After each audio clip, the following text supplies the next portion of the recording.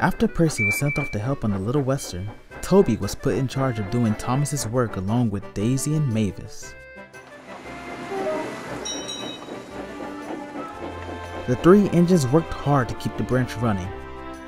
Bertie pitched in too by picking up extra passengers to assist. But with all his excessive running on the roads, cracks started to appear and the roads became more and more uncomfortable for the passengers.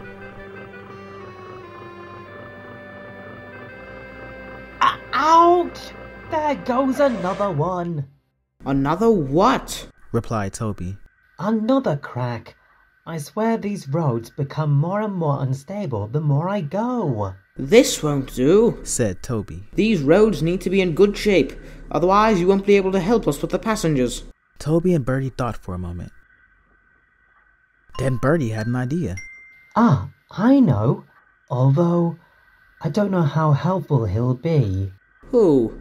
There's a steamroller working along the Skarloey Railway. Oh, what's his name? George, that's it.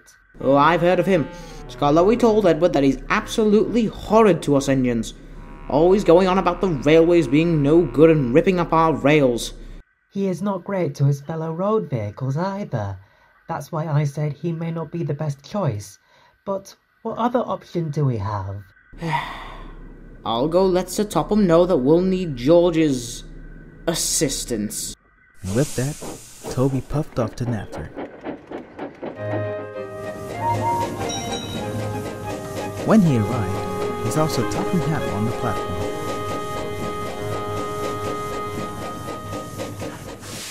Excuse me, sir.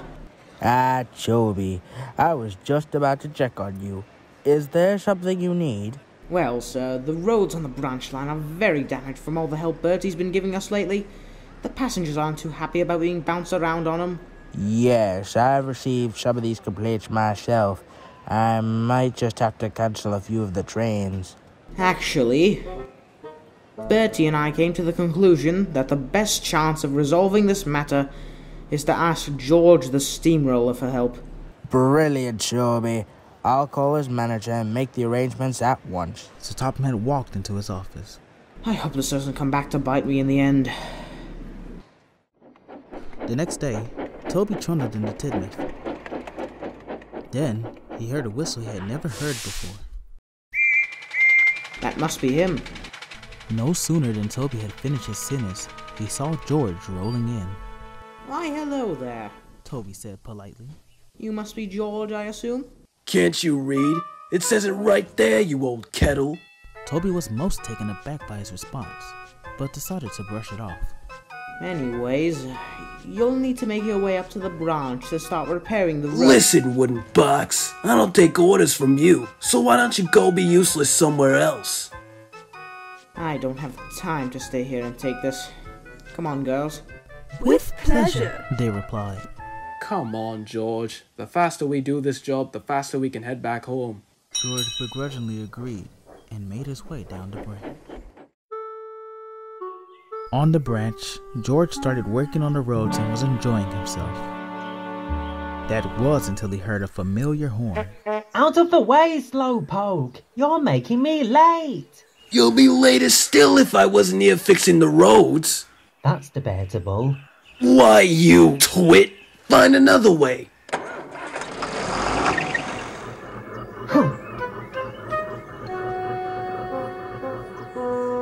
Go pop a tire while you're at it. Later at Ffarquhar, Bertie was telling the others about George. Maybe it wasn't such a good idea to ask for his help. Yes, he seems to be more trouble than what he's worth. Daisy snorted. You can say that again. Nearly got stuck at the crossing because of him. I just don't understand why he's so rude. George soon arrived to the station and stopped for a rest.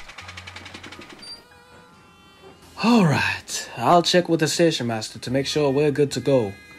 Huh. About time we let this sail branch line. George looked over and saw all the engines and Bertie were talking. He was about to blow his whistle to break them up when he overheard what they were talking about. You know, one thing I don't get about George is why he complains so much about our rails. Like you said, Toby, why would he be so rude? I agree, Daisy. I mean, if it wasn't for our branch, he wouldn't be doing any work right now. George sat there silent.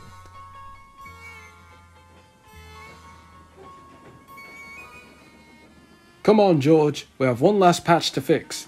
Luckily, it's near the start of the branch, so we could head on home afterwards. How's that sound? Huh? Oh, yeah. That sounds good. George's driver hopped into him and they made their way.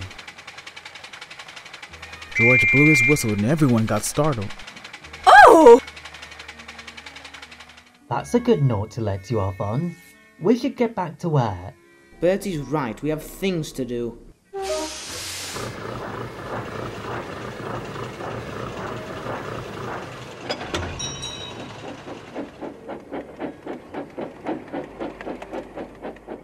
You know, Clarabel, George was departing when we heard him.